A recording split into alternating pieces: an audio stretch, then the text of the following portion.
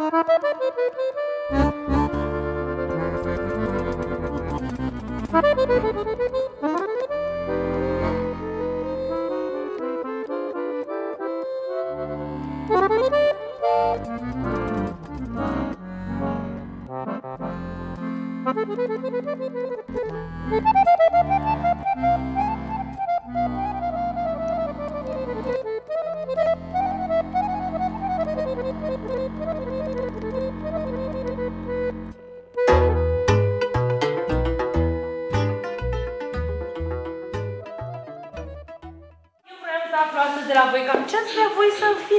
fiți când veți fi mari?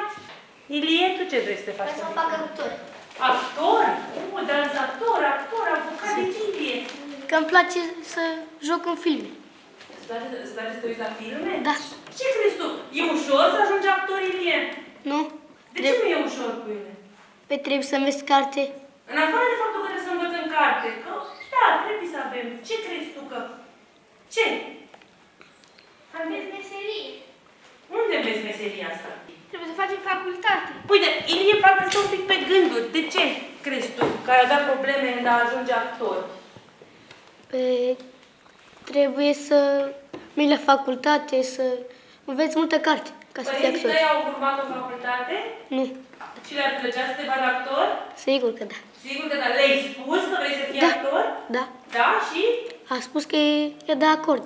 Sunt de acord. Oh, ce frumos. Cât de des te gândești Ilie că vrei să fii actor?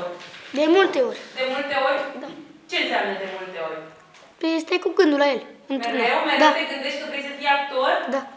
Serios? Serios. Ți se întâmplă și la școală așa să stai să zici, doamne, mi-ar plăcea să joc rolul nu știu care? Da. Mă uit la filme și parcă mă văd în film. Te vezi în filme? Da. Ce frumos! Ce personaj, ce vrei să faci tu într-un film? Uite, dacă noi astăzi începem să turnăm un film, ce ți-ar plăcea să fii? Rolul principal. Vă doresc să vă urmați visul, să nu vă lăsați, să luptați și categoric veți ajunge acolo sus. Sunteți liberi, ne întâlnim ora următoare. Ilie, te rog să vii puțin până la mine. Fără să te uiți.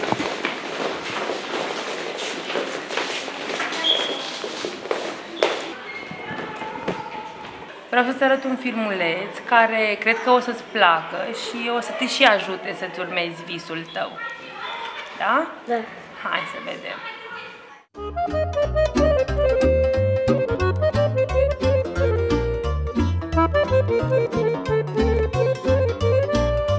Tatăl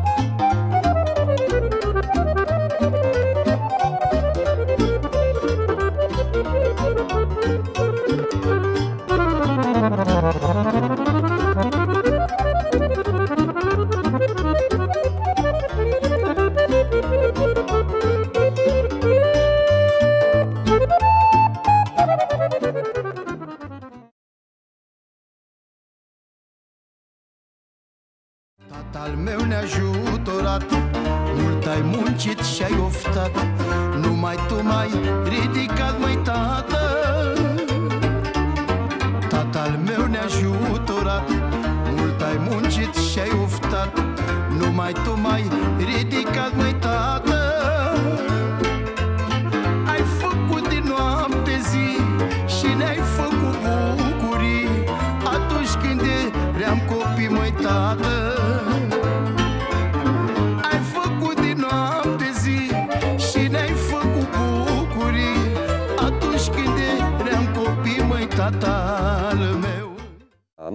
crescut-o de la 11 luni.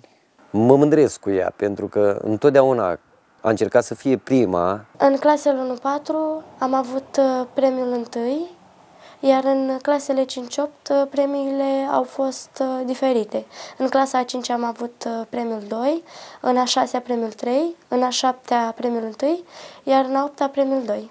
Școala generală uh, am făcut-o la Frumușița, iar de acasă până la școală făceam aproximativ 10 minute. Pe când acum, când sunt la liceu, mă trezesc la 5, plec la 6 și 5 din casă, plec cu trenul la 6.20 iar ajung, și ajung în gară la 7 și un sfert. Din gară iau autobuzul către liceu și ajung la școală la 8 fără 5. De la 4 când ajung acasă, mă recreez o oră, apoi uh, încep să îmi fac temele și să învăț. Până seara, da. Prea mult timp uh, în, în cursul săptămânii nu am să ajut. Nu am un serviciu de 5 ani și muncesc cu ziua. Am venit de 470, aproximativ 480, din care ne descurcăm cum putem. 390 fiind pensia lui mama, 4, 390 de lei, 42 de lei alocația copilului plus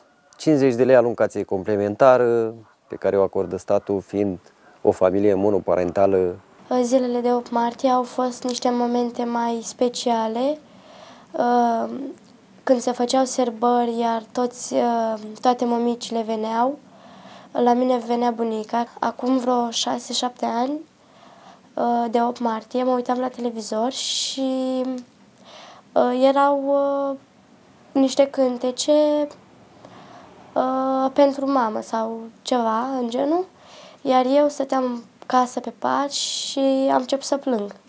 A fost un sentiment oarecum greu. Am încurajat-o în felul următor și i-am dat exemplul meu ca părinte. I-am zis, tată, eu n-am făcut decât 8 clase. Da? Dacă aveam și eu pe cineva să mă susțină și să mă ajute să fac un liceu, probabil aveam acum 12 clase, eram văzut altfel în societate și poate aveam și eu un loc de muncă. Prietenii, rudele, vecinii mei nu au vise atât de mărețe. Sunt unii copii care nu îndrăznesc să viseze la ceva mai bine pentru că așa au fost sfătuiți de părinți. Tu ai fost cu 4-5 clase, 6-8, dacă tu nu-i dai copilului tău cu o treaptă mai sus, Copilul nu să zic, știi ce a spus, ce a făcut tata, pot să fac și eu, sau ce a făcut mama, pot să fac și eu. Mă mărit sau mă căsătoresc și știți, stau acasă și mă duce soțul bani. Este o crimă, pentru că un copil la 10-12 ani nu știe nici cum se cheamă mămăliga în ceaun. Inițial am vrut să uh, devin profesoară. Acum m-am, uh, m-am hotărât și vreau să uh, mă fac, să devin avocat. Ce m-ar bucura pe mine ar fi să ajungă să fac avocat. Deci, sincer, am avut, am avut momente când am vrut să renunț, să o scot de la liceu. Mulțumesc lui mama și mulțumesc celui de sus că m-a încurajat și mi-a zis, din ce puțin avem, mâncăm noi mai puțin, dar lasă-o să facă liceu. În primele zile s-a dus cu un leu, 2 lei la de covrigi, 2 covrigi, 2 lei, 2 covrigi și cu asta basta. Viața mea școlară nu s-a bazat pe resursele financiare, ci uh, cea mai mare parte Uh, s-a bazat pe sentimente, pe înțelegerea din familie, înțelegerea pe care am avut-o din partea tatălui și a bunicii. Da, au fost și zile când eu n-am mâncat și ea, pentru pachetul ei și pentru, pentru binele ei, poate eu am plecat pe drum, mi-am văzut de treaba mea sau am intrat și am plâns, am zis că nu mi-e foame. Ai făcut din noapte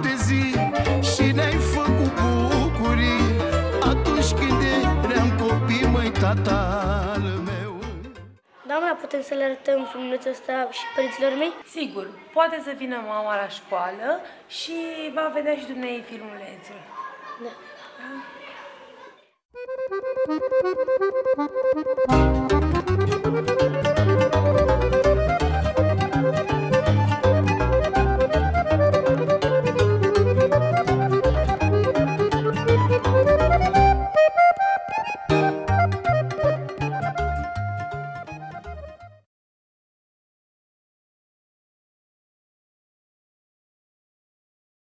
Drumul până aici chiar a fost destul de greu, pentru că nu am avut mereu toate posibilitățile. Sincer, n-am făcut niciodată meditații, fiindcă n-am avut cum. Tot ce, singurii care mă ajutau erau mama și unchiul meu. Și unchii, mă rog. Au, și ei au terminat de asemenea facultatea și mă sprijinau foarte des și mă motivau, învață, vei ajunge departe. Tre- tu trebuie să-ți țintești mai sus decât noi. Și asta m-a motivat cu adevărat. Nu consider că este ceva în mod special la faptul că învață. Mă gândesc doar că este unul dintre noi, unul dintre copiii conștienți care vor să facă într-adevăr ceva în viață și faptul că etnia lui este romă nu ar trebui să-l împiedice, prin urmare nu-l împiedică. Ne știm de 11 sau 12 ani, eram vecini de bloc și ne înțelegem foarte bine. Ne mai întâlneam pe la olimpiade, de matematică în special, Și un an am fost surprins că ne-am întâlnit, în, a- eram chiar în aceeași clasă, la același liceu.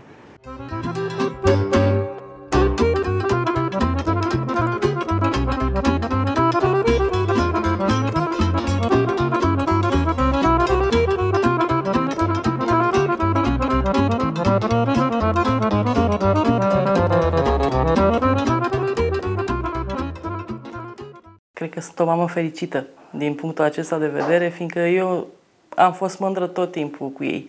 Deci toată lumea, vreau să spun, de la, începând de la profesori și până la vecini, mi-au lăudat. Sunt destul de apreciabile, adică a avut, avem aproape aceeași medie, peste 9 în fiecare an, în fiecare an am luat bursă. Știu că nu stă foarte bine din punct de vedere financiar, dar totuși învață ca și cum asta n- n-ar conta. Că nu contează pentru el asta. El vrea să ba- are un cel de atins și nu se oprește în cauza unor obstacole.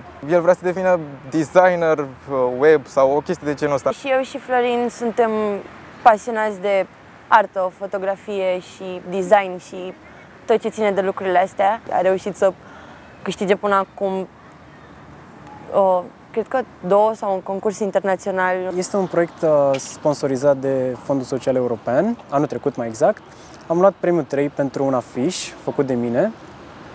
Uh, nu m-am dus în Italia, premiul 1 era pentru Italia și am fost foarte supărat și am spus că anul ăsta o să fac cumva să plec și am luat până la urmă locul întâi. Am câștigat o excursie în Polonia și prin excursia asta nu e o excursie în sine, e pentru a cunoaște ceilalți elevi din alte țări, fiindcă proiectul include 10 țări, dacă nu mă înșel. Există de asemenea categoria de romi invizibili, care nu se afirmă, rămân pur și simplu în spate, ei sunt unii care chiar învață. Până acum ceva timp și eu am fost, să fiu sincer. Um, dar rămân în spate, sub cortină, să mă exprim, și nu se afirmă, nu ies în față să motiveze și pe ceilalți. De ce oare?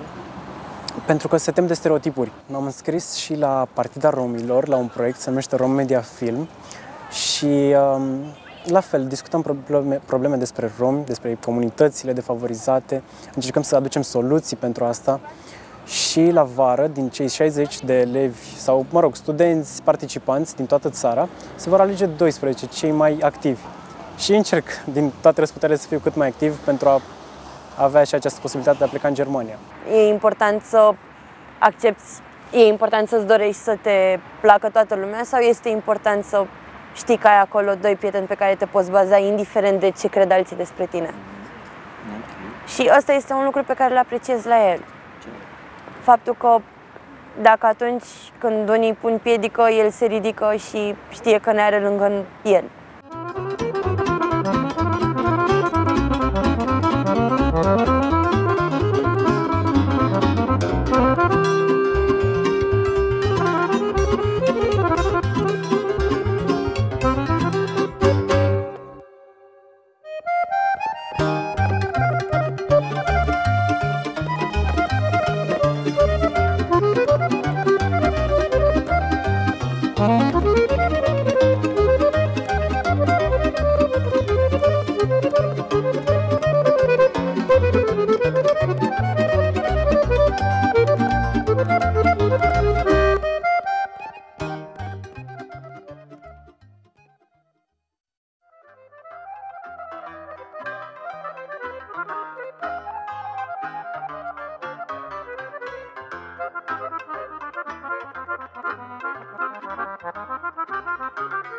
O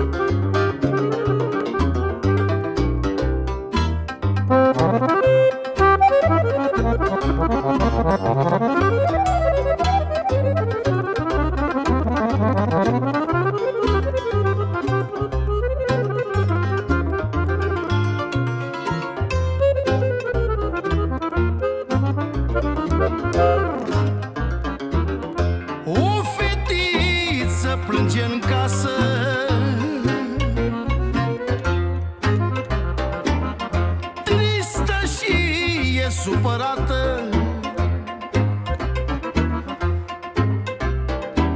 Tată vrei să mă măriți?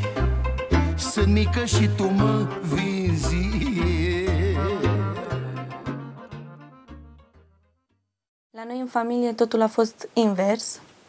Noi uh, am fost învățate să fim uh, ceva mai mult decât chiar și bărbatul în casă, să ne depășim condiția de femeie, de cratiță. Ea a vrut să fim uh, capabile, să fim independente și în orice moment să putem să ne luăm viața în piept ca femei și chiar să avem bani să plătim pe cineva în casă, să ne facă mâncare dacă noi suntem prea ocupate. O femeie trebuie să învețe, să fie educată. Ea va fi respectată la fel ca un bărbat, chiar poate și mai mult ca un bărbat, doar dacă este educată.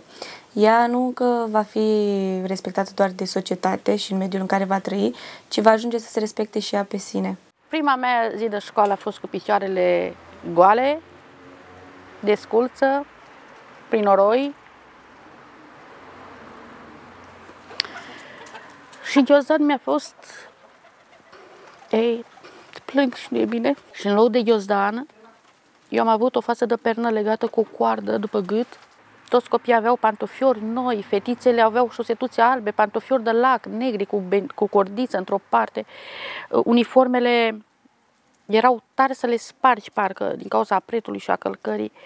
Și eu aveam o roche roșie, creață, scurtă, cred că și pătată. Deși mama mea provine dintr-o familie de 10 copii, unde mediul în care a trăit era un mediu nefavorabil educației, ea ne insufla nouă puterea de a învăța, și la o vârstă foarte înaintată, aproximativ 50 de ani, a absolvit uh, o facultate din București, a luat licența cu 10. Deci tata ne spunea învățați, învățați, învățați. Și a fost foarte greu. Bărbatul meu a plecat. Am putut să mă duc doar la servici și copii. Aveam 40 ceva de ani, începusem să cărunțesc și mergeam la școală. Deci eu am terminat liceul când aveam șapte copii. Copii care erau trimiși la școală. În general, nu a fost o perioadă care să mă motiveze în a merge mai departe. La un moment dat a lipsit un penar cu pixuri. Chiar dacă mă știam nevinovată, m-am simțit cumva vinovată doar pentru că sunt de etnie romă. Au fost multe lucruri care m-ar fi putut da înapoi. A fost un concurs de pictură și am luat premiul întâi pe țară. Și la școală au venit părinții din asta, deși în jurul școlii un premiu. Și toți părinții au ales uh, desenul meu. Și doamna învățătoare l-a luat pe tablă și le-a aruncat și a spus că acest premiu nu putem, acest desen nu putem să-i acordăm un premiu. La o oră ne trecea notele pe caiet. Și am fost prima care termina problema, o problemă foarte grea. Și în loc să-mi pună foarte bine pe caiet, pentru că la un cumul de foarte bine îți dădea nota finală, mi-a luat caietul și le-a aruncat. Și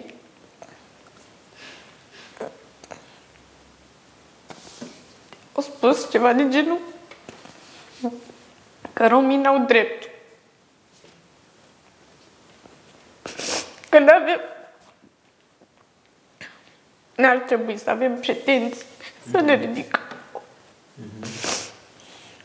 Să te duci la școală înseamnă să lupți, să arăți că existi și este un drept al tău. Trebuie să-i obligi pe ceilalți să recunoască acest drept. De când am fost mică, am vrut să fiu la catedră. Și am vrut să arăt milă, o înțelegere la toți copiii de acum aveam vârsta de mama. Înțelegeam orice copil, nu mai era țigan român. Vreau copiii țigani să învețe, să iasă din starea de săraci, uh, defăimații, jigniții, umiliți, sărăcie materială, uh, să fie tot ce înseamnă rău. Să se depășească pe ei, să fie o lumină.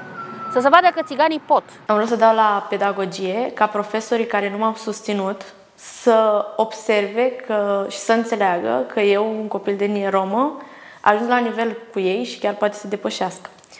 Și după mi-am dat uh, seama și mi-am adus aminte că mama m-a învățat că a, uh, nu este cea mai bună armă ca să lupt împotriva lor, ci să lupt cu mine.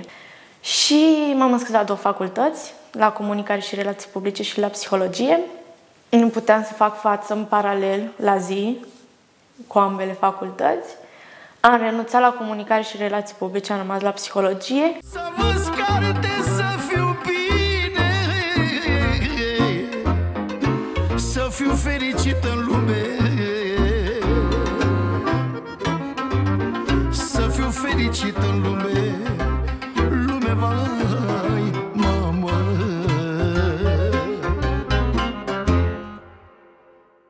eu și dacă voi muri, în urma mea vor rămâne șapte care au moștenit dorința de a învăța. Dovadă că am toți copiii, până în momentul de față, toți, cu un examen de bac.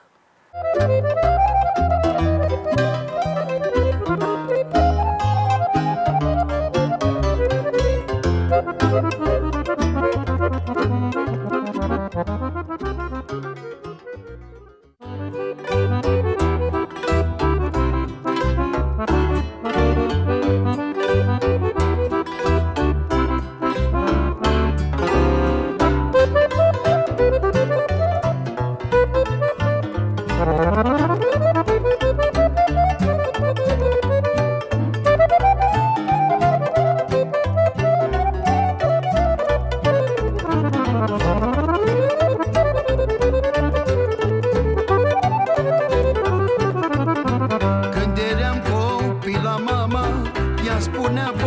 povești și seara Cumpăra și cu regine În viață să cred în bine.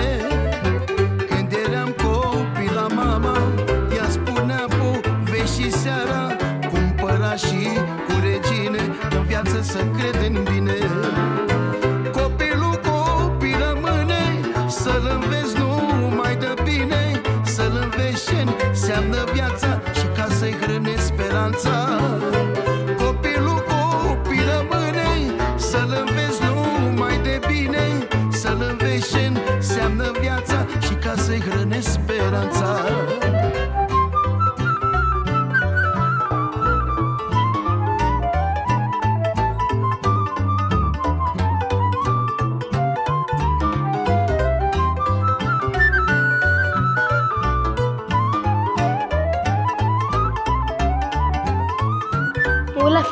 parcă mă văd în film.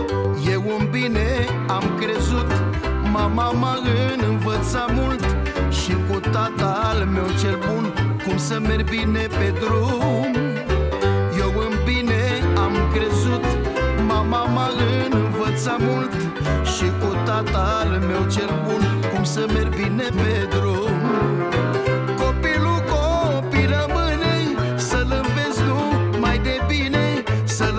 înveți ce înseamnă viața Și ca să-i hrănești speranța. Copilul copil rămâne Să-l înveți numai de bine Să-l înveți ce înseamnă viața Și ca să-i hrănești speranța